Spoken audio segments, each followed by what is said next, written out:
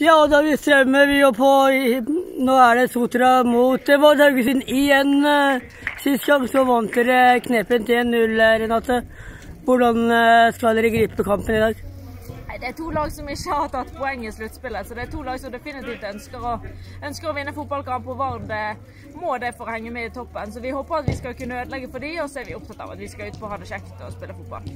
Ja, for dere har eh, dessverre ikke gjort eh, den eh, det dere ønsker i disse kampene her, men eh, allikevel så har dere jo prestert frem til nå. Vi er fornøyd, og vi syns ikke at vi nødvendigvis har levert dårlige kamper i sluttspillet, så vi er fornøyd med det vi har levert. Og så har vi aldri trodd at vi skulle kjempe om opprykk til Obos-ligaen. Så hvis vi kan kjempe om en eh, fjerde, femteplass, sjetteplass her, så tror jeg vi skal være, være veldig fornøyd. Salen i dag, hvordan eh, ser den ut?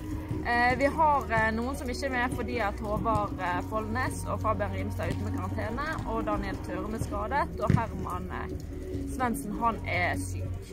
Så ellers er vi alle mann, så vi har blitt tvunget til å gjøre noen endringer. Og så kommer vi nok til å se litt annerledes ut enn vi pleier i dag. Hvordan skal dere gripe kamp sånn spillmessig utover i dag? Neida, vi skal gjøre det vi pleier å gjøre. Og så håper vi med at vi har en liten endring i formasjonen. At vi på en måte skal, skal ta vare litt på det, og at vi skal få litt flere folk eh, i boks. Og at vi skal skape enda litt flere sjanser enn det vi har gjort i det siste. Da håper vi det lykke til. Takk.